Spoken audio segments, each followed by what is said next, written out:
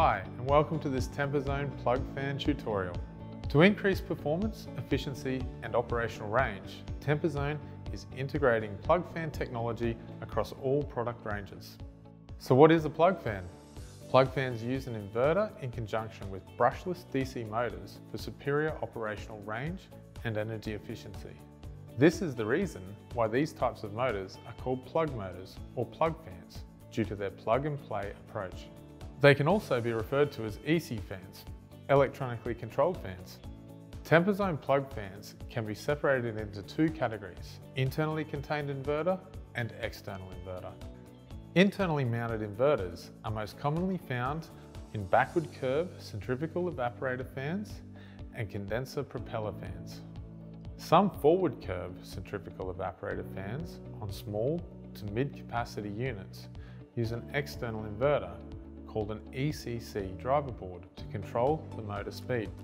The advantage of using plug fans include increased energy efficiency, superior speed control, stable condensing pressure, stable duct pressure, phase direction indifference, high level and low level communication capabilities, increased levels of fault indication.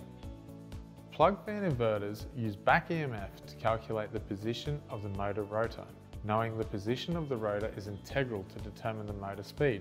Upon the starting of a plug fan, it can be quite often noticed that the motor may appear to stall or even turn backwards slightly. This is a normal function of the inverter to calibrate the rotor position before normal operation. Electrical testing of motors with internally mounted inverters is impossible due to the terminals being electrically isolated from the motor windings due to the inverter.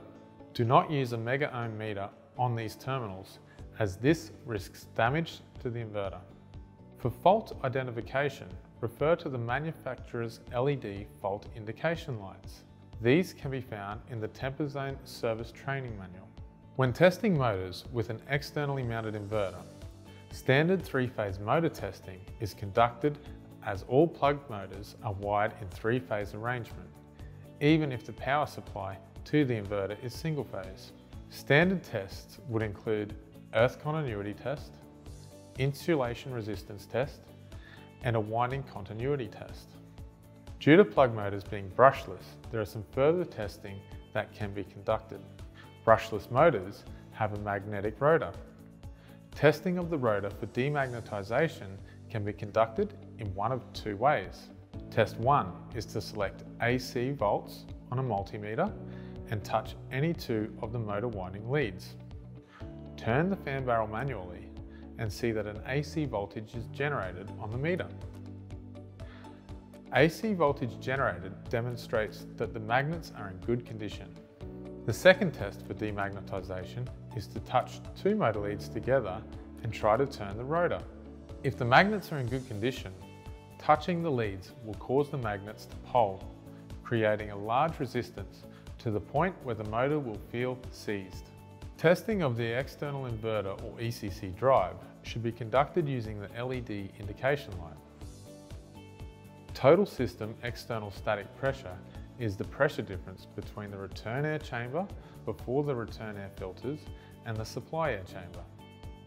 Total system external static pressure and airflow can be estimated without the use of a manometer when examining the fan curve data supplied for your model TemperZone in the technical data manual.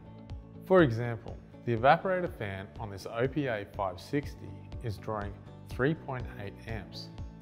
Its speed input voltage is 8 volts. Plotted on the fan curve is an estimated 275 pascals of total system external static at 2,500 litres of airflow. As you can see, a face velocity of 2.5 meters per second is marked upon the x-axis of the chart. It is not recommended to exceed this value. Likewise, airflow is not recommended to drop below 1.5 meters per second for reliable operation. To adjust the speed of your plug fan either at the IUC controller or the UC8 controller, refer to the relevant operation manual. It is very often compromised airflow that causes intermittent tripping, poor temperature and humidity control, and a shortened lifespan of equipment. So remember, if you get the airflow right, your TemperZone product will run reliably for eons.